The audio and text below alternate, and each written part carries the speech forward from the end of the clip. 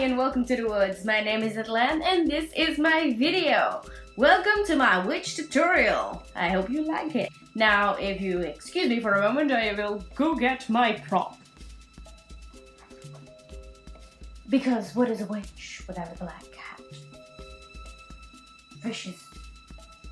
Very vicious. Sorry, Luna. She's just sitting on my lap right now. Ta-da! There she is. Ain't she cute? Cute and fluffy. Just like me.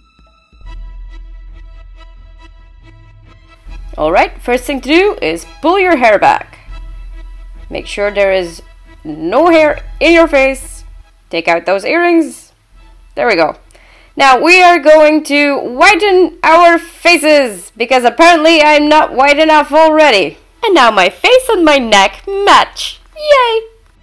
Now I'm putting on some regular old eyeliner using a regular old eyeliner pencil because it's the easiest thing to use. It needs to be big, it needs to be thick, so don't worry about making your eyes too black. You're a witch, not a fairy.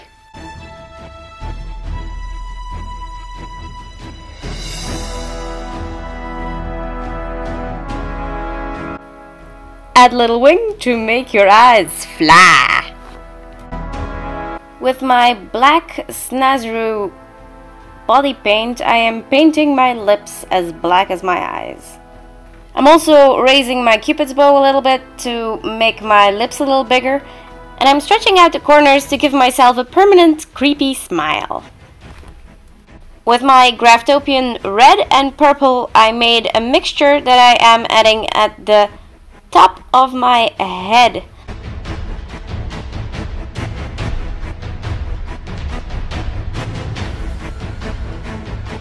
I'm then going over the red and purple with some black. Make sure you go into your hairline so you don't get a weird ridge between the two. Then go over the black again with your red and blend the two together.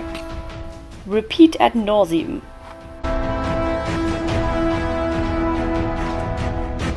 With your black, go down your cheekbones to make them pop. Then go over the black with your mixture of purple and red. After that, you guessed it, you blend! Now I'm going over my white areas again to make an even bigger contrast.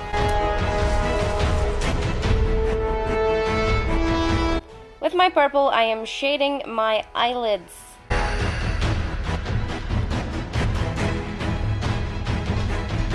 With a very tiny brush, I'm drawing in some veins under my eyes.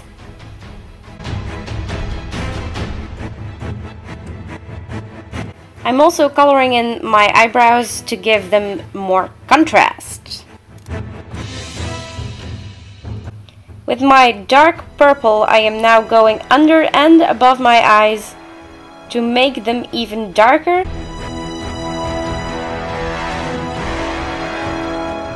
Now I am reapplying my veins because they were gone, which was not my intention.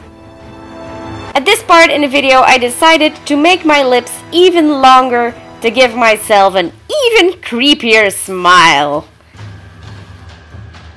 I also decided that my eyes weren't dark enough, so with some black I drew in the corners of my eyes with black.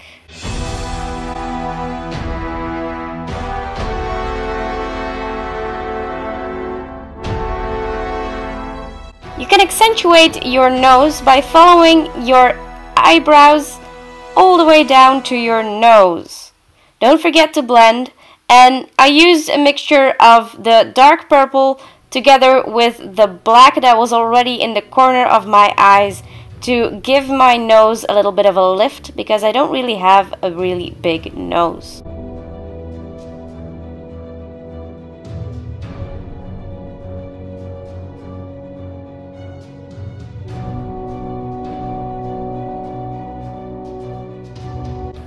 For the fun part.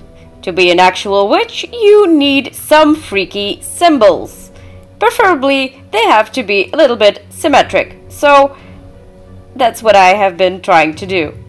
This was the hardest part because, you know, you can't really put a ruler on your head and make the lines go even. But you can try.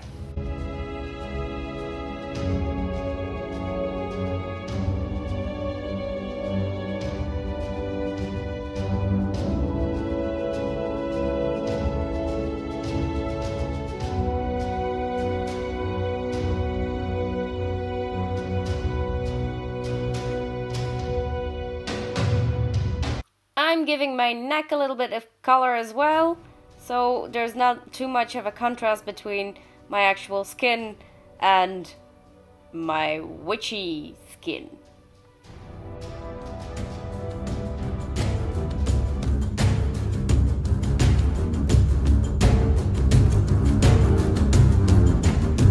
If you have any comments, questions, or general wonderings, please put them in the comment section below. Also, if you if you'd like me something to do, please let me know. If you haven't already, please like and subscribe.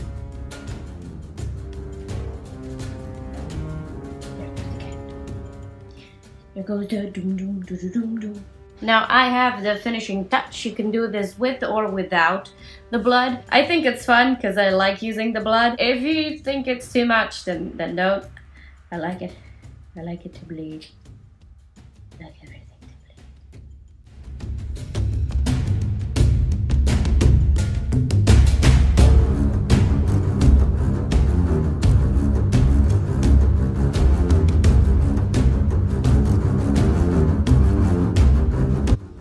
Now the fun thing about this blood is that it actually forms a droplet. So it slowly falls down your face. So you can you do have to be careful because last time I did this it fell right into my clothes and it's kind of hard to wash out. It does come off though. It's not like you have to buy new clothes or something or anything. Just not very fun. No.